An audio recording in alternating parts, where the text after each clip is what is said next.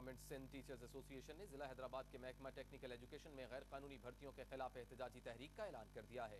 Government Sindh teachers association Hyderabad division के सदर जमीर खान और दीगर रहनुमाओं ने हैदराबाद प्रेस क्लब में न्यूज़ कॉन्फ्रेंस की।